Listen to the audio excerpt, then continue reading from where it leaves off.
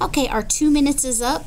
So according to the idiot sheet, we're going to add three drops of wash buffer to both upper ports. And it's very important that you're familiar with what you're doing before you actually do it, because if you don't put them in the right place, the test won't work correctly.